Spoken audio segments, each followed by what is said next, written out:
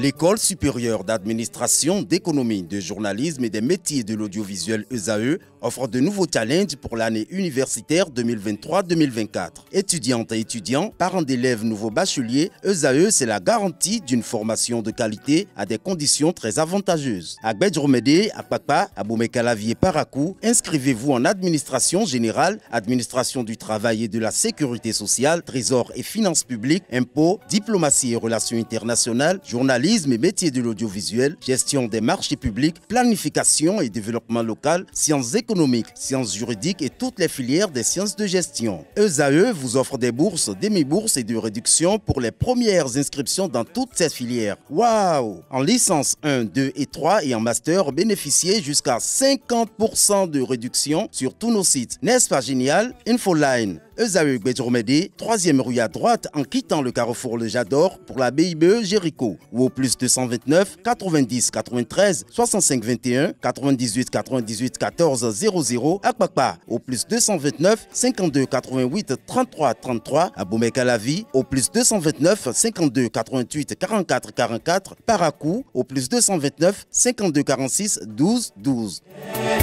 ESAE, l'excellence à un nom.